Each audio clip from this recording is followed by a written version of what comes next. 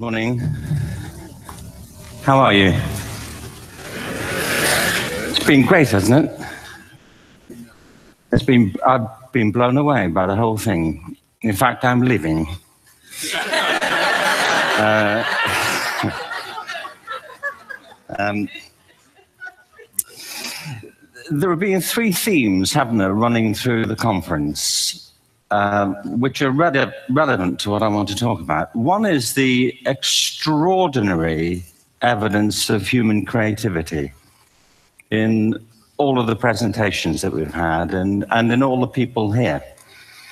Uh, just the, you know, the variety of it and the range of it. Uh, the second is that it's put us in a place where we have no idea what's going to happen uh, in terms of the future.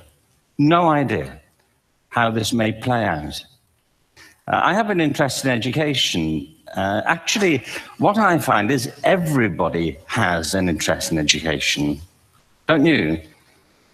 I find this very interesting. If you're at a dinner party and you say you work in education, actually, you're not often at dinner parties, frankly, if. Uh, sort of thing. If you work in education, you're not asked, you know, and. Uh, and you're never asked back, curiously. That's. Uh, strikes me. Uh, but if you are, and you say to somebody, uh, no, they say, what do you do? And you say you work in education, you can see the blood run from their face. They think, oh my God, you know, why me? my one night out all week. Um, but if you ask about their education, they pin you to the wall. Because it's one of those things that goes deep with people. Am I right? Like religion and money uh, and other things. So um, I have a big interest in education, and I think we all do. Uh, we have a huge vested interest in it, partly because it's education that's meant to take us into this future that we can't grasp. If you think of it, children starting school this year will be retiring in 2065. Nobody has a clue. Despite all the expertise that's been on parade for the past four days, what the world will look like in five years' time. And yet we're meant to be educating them for it. So the unpredictability, I think, is extraordinary. And the third part of this is that we've all agreed, nonetheless, on the really um, extraordinary capacities that children have, their capacities for innovation.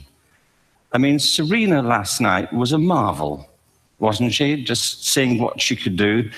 And she's exceptional, but I think she's not, um, so to speak, exceptional in the whole of, of childhood. What you have there is a person of extraordinary dedication who found a talent.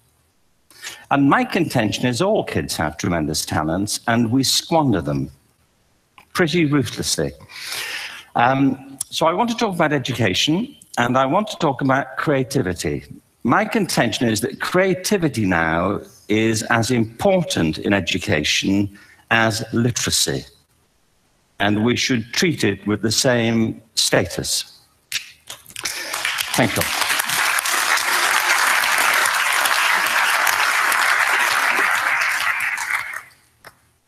That was it, by the way. Thank you very much.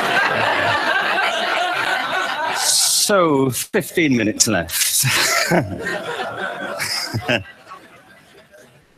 well, I was born. No, the. Um, I had a great story recently. Uh, I love telling it of a little girl who was uh, in a drawing lesson. She was six and she was at the back drawing, and the, the teacher said, This little girl hardly ever paid attention. And in this drawing lesson, she did. And uh, the teacher was fascinated. She went over to and she said, What are you drawing? And the girl said, I'm drawing a picture of God. And the teacher said, But nobody knows what God looks like. And the girl said, They will in a minute.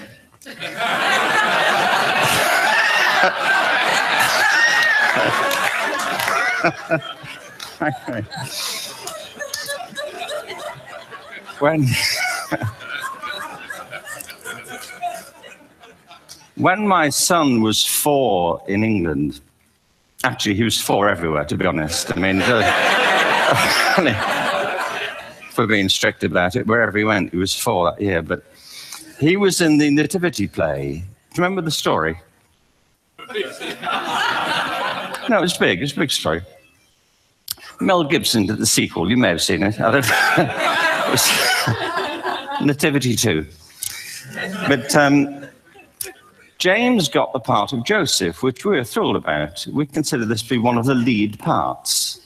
Uh, we had the place crammed full of agents and T-shirts. You know, James Robinson is Joseph. Uh, we had. He didn't have to speak, but you know the bit where the three kings come in? Now they come in bearing gifts, and they, they bring gold, frankincense, and myrrh. This really happened. We're sitting there, and they, I think, just went out of sequence. Because we talked to the little boy afterwards and said, you know, you okay with that? And they said, yeah. Why was that wrong? They just switched. I think that was it. Anyway, the three boys came in, little four-year-olds with tea towels on their heads, and they put these boxes down. The first boy said, I bring you gold. And the second boy said, I bring you myrrh. And the third boy said, Frank sent this.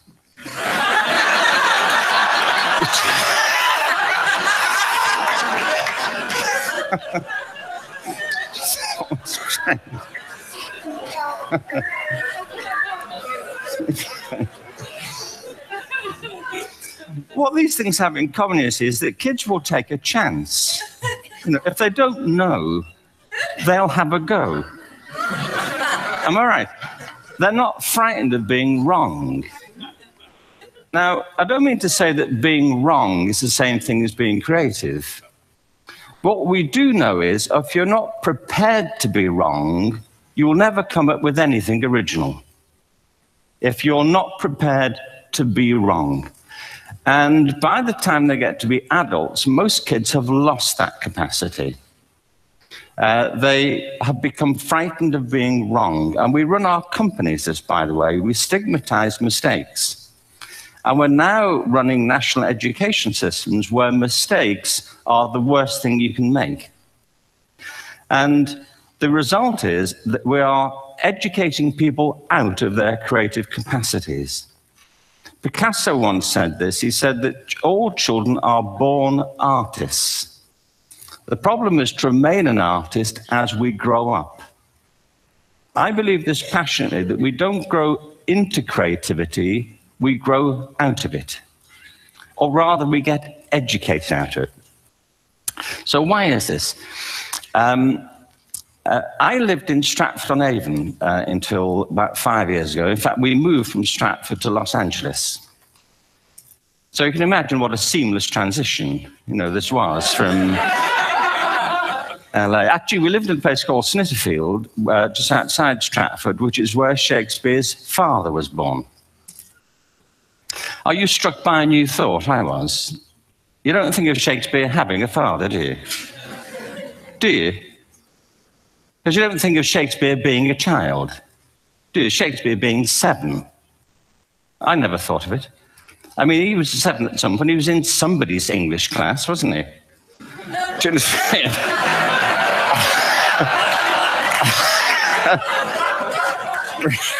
Really?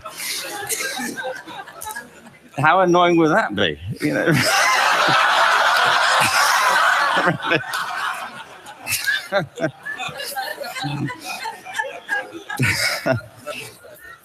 Must try harder. um,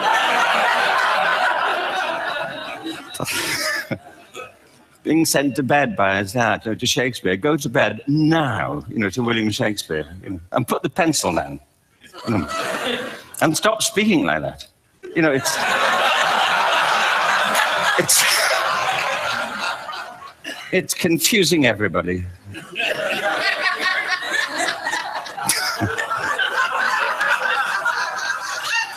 anyway. Um, we moved from Stratford to Los Angeles, and I just want to say a word about the transition. Actually, my son uh, didn't want to come. I've got two kids. Uh, he's 21 now, and my daughter's 16. He didn't want to come uh, to Los Angeles. He loved it, but he had a girlfriend in England. Uh, this, this was the love of his life.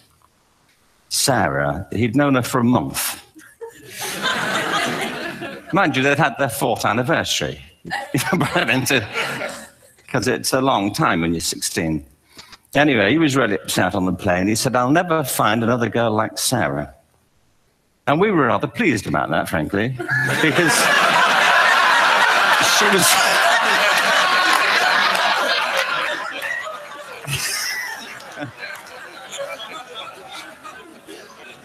she was, she was the main reason we were leaving the country. but, uh,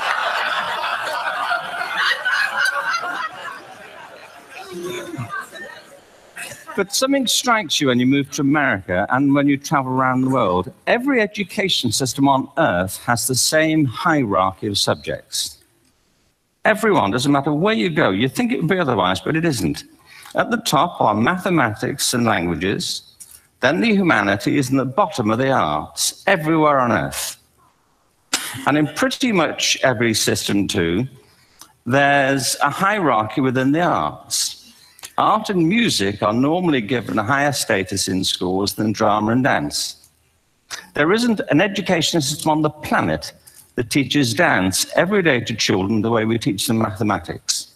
Why? Why not? I think this is rather important.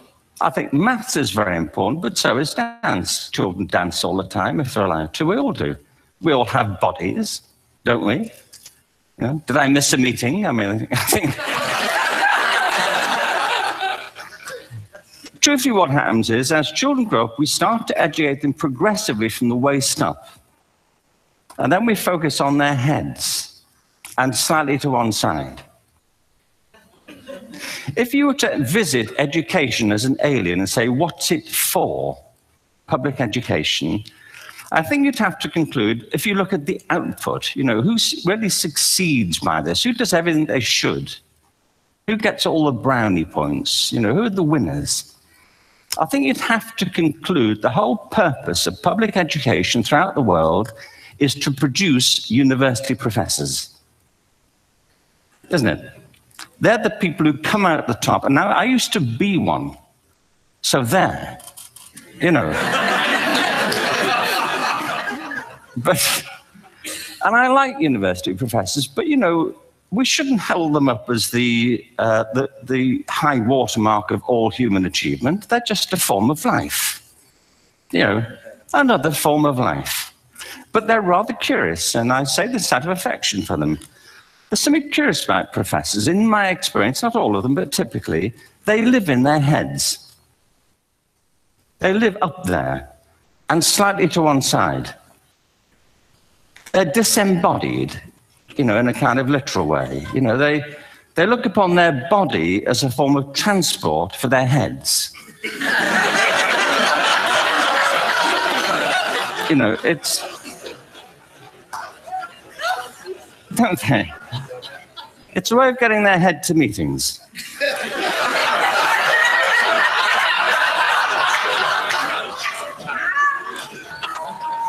If you want real evidence of out of body experiences, by the way, get yourself along to a residential conference for senior academics and pop into the discotheque on the final night. and there you will see it grown men and women writhing uncontrollably off the beat waiting to it ends so they can go home and write a paper about it. now, our education system is predicated on the idea of academic ability. And there's a reason. The whole system was invented around the world. There were no public systems of education really before the 19th century. They all came into being to meet the needs of industrialism. So the hierarchy is rooted on two ideas. Number one, that the, the most useful subjects for work are at the top. So you were probably steered benignly away from things at school when you were a kid things you liked on the ground you would never get a job doing that. Is that right? Don't do music, you're not going to be a musician. Don't do art, you won't be an artist. Uh, benign advice, now profoundly mistaken. The whole world is engulfed in a revolution. And the second is academic ability, which has really come to dominate our view of intelligence because the universities designed the system in their image. If you think of it, the whole system of public education around the world is a protracted process of university entrance. And the consequence is that many highly talented, brilliant, creative people think they're not.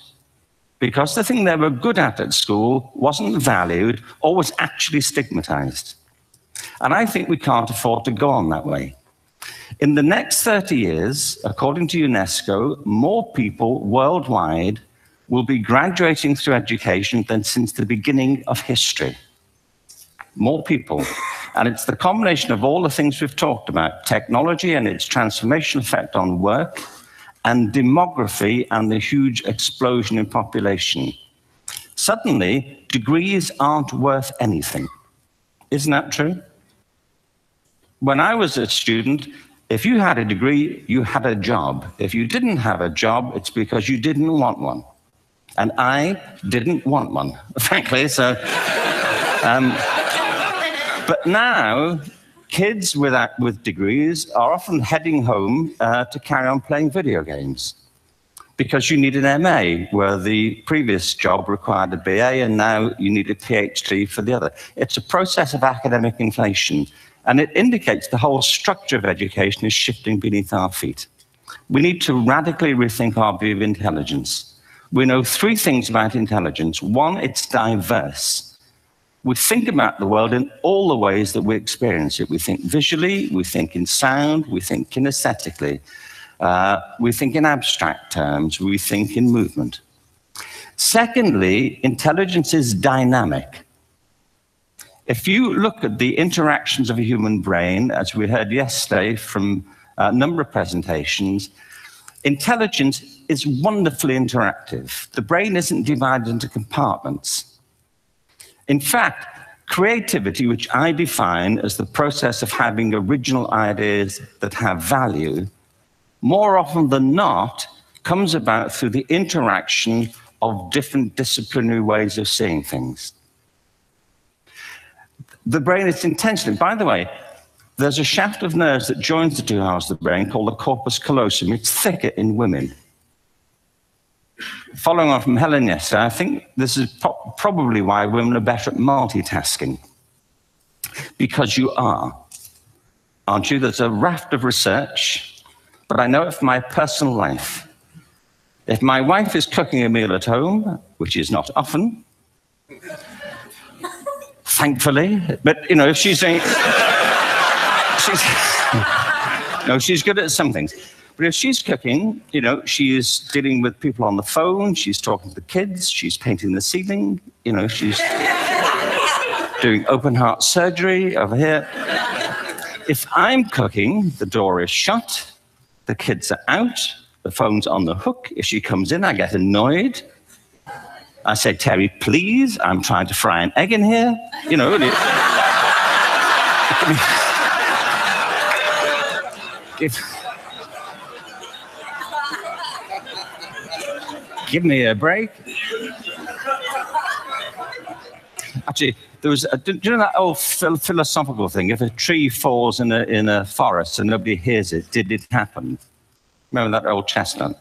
I saw a great T-shirt really recently which said, um, "If a man speaks his mind in a forest and no woman hears him, is he still wrong?"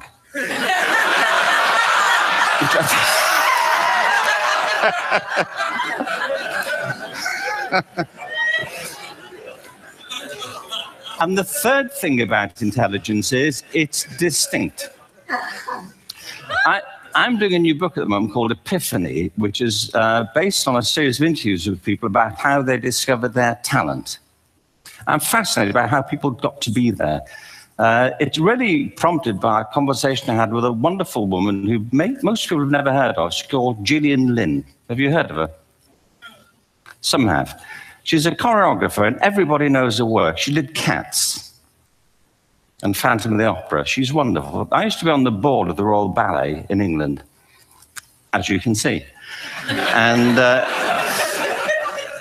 anyway, Jill and I had lunch one day. I said, How'd you get to be a dancer? And she said it was interesting. When she was at school, she was really hopeless. And the school in the 30s wrote to her parents and said, We think Gillian has a learning disorder. You couldn't concentrate, she was fidgeting. I think now they'd say she had ADHD. Wouldn't you? But this was the 1930s, and ADHD hadn't been invented, you know, at this point. So it wasn't an available condition. You know, people, people,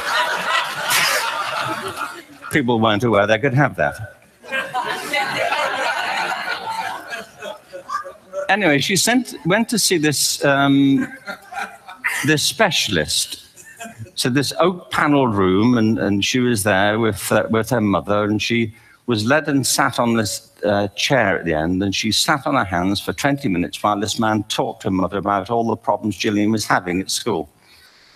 And at the end of it, um, because she was disturbing people, her homework was always late and so on, little kid of eight. In the end, uh, the, uh, the doctor went and sat next to Gillian and said, Gillian, I've listened to all these things that your mother's told me. I need to speak to her privately. So she said, he, he said, wait here, we'll be back. We won't be very long. And, and, uh, and they went and left her. But as they went out the room, he turned on the radio that was sitting on his desk. And when they got out the room, he said to her mother, just stand and watch her. And um, the minute they left the room, she said she was on her feet, moving to the music. And they watched for a few minutes, and he turned to her mother and he said, You know, Mrs. Lynne, Gillian isn't sick, she's a dancer.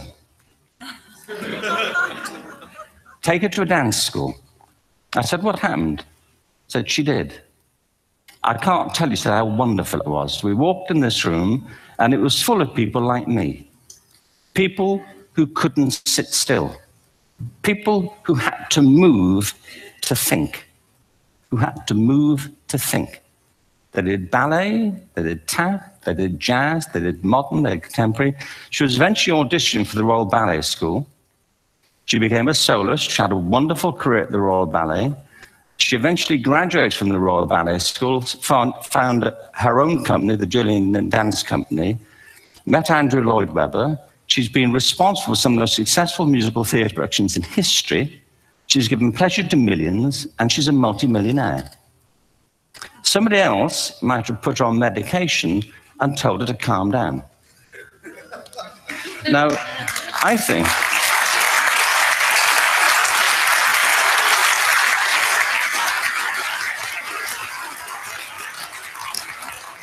What I think it comes to is this. Al Gore spoke uh, the other night about ecology and the revolution that was triggered um, by Rachel Carson. I believe our only hope for the future is to adopt a new conception of human ecology, one in which we start to reconstitute our conception of the richness of human capacity.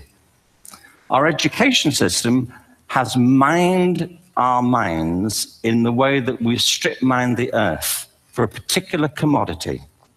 And for the future, it won't serve us we have to rethink the fundamental principles on which we're educating our children. There was a wonderful quote by Jonas Salk who said, if you were to, uh, if all the insects were to disappear from the earth, uh, within 50 years, all life on earth would end. If all human beings disappeared from the earth, within 50 years, all forms of life would flourish. And he's right. What TED celebrates is the gift of the human imagination. We have to be careful now that we use this gift wisely and that we avert some of the scenarios that we've talked about. And the only way we'll do it is by seeing our creative capacities for the richness they are and seeing our children for the hope that they are. And our task is to educate their whole being so they can face this future. By the way, we may not see this future, but they will. And our job is to help them make something of it. Thank you very much. Bravo. Hear, hear.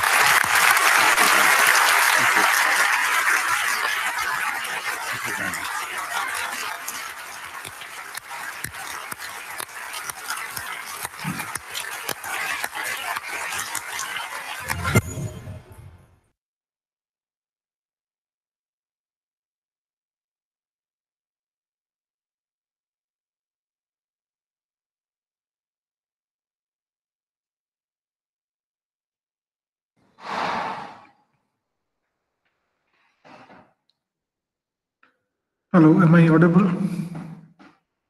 Yes, sir. Yes, sir. Yes, sir. Yes, sir. So uh, that was Sir Ken Robinson, and this uh, talk, this TED talk, is from 2006. So it is like almost 14 years now. In fact, if you go and check, uh, there is another video of Sir uh, Ken Robinson, which is from 2018, I think, or 2016, or 2017, sometime uh, two three years ago, where he has talked about uh, further developments in education and what he proposes. He talks about his life. Almost like uh, one one hour of video is there. I'll share a link. Uh, you can go and check this. It was interesting.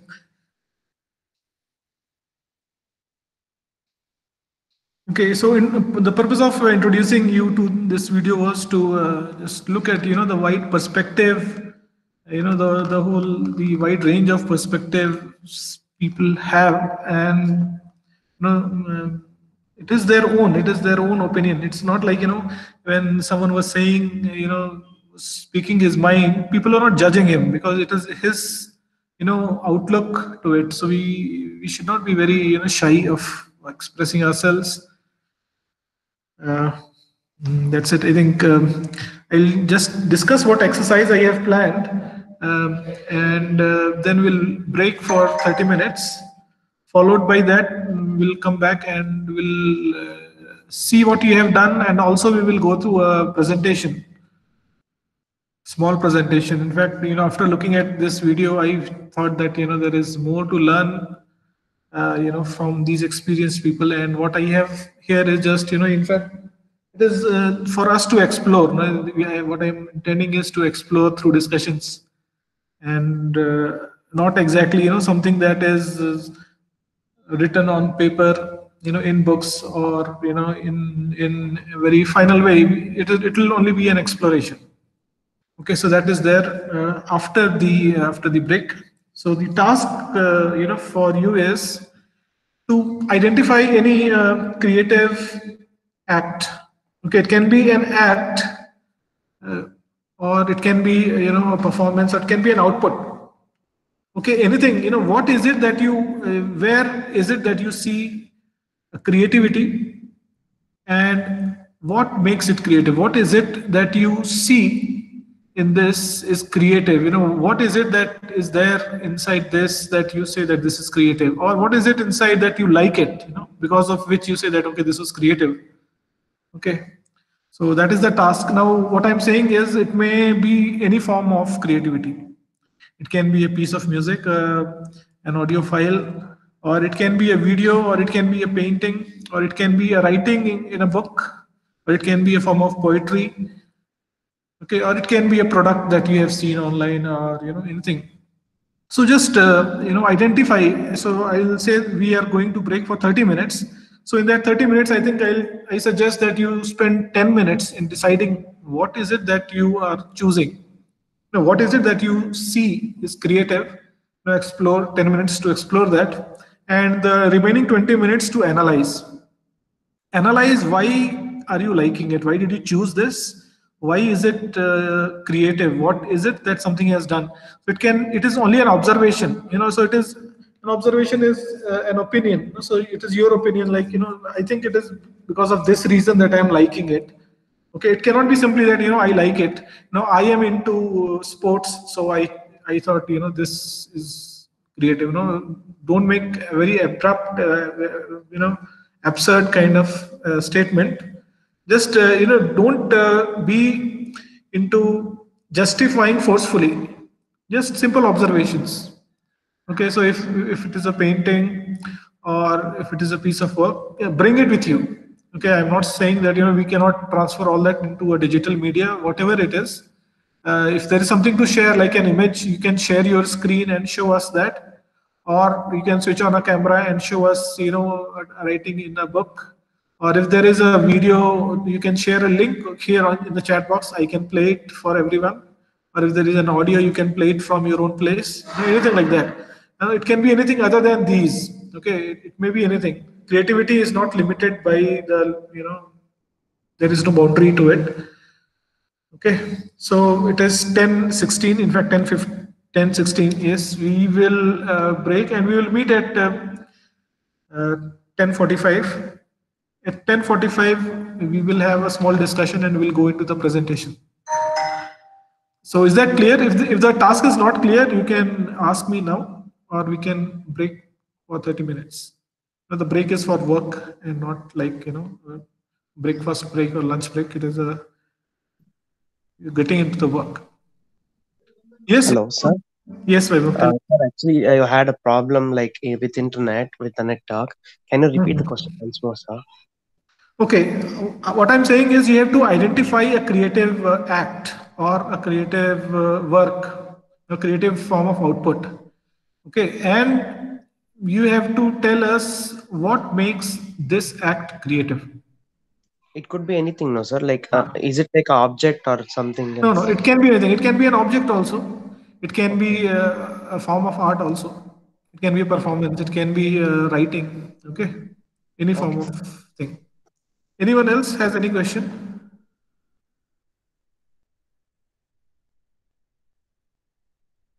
Okay, so we'll meet at 10:45.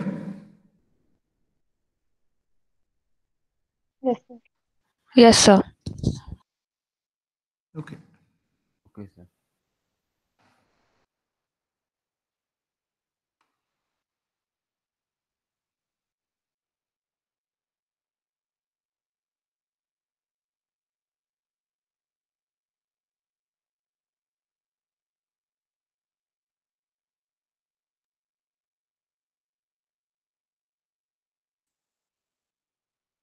Sandeep, uh, are you there? Can you just uh, suggest whether should we start the record, stop the recording, or what is it? I mean, uh, stop the recording. We'll put it as part one, part two, part three. Okay, fine. I'll stop the recording.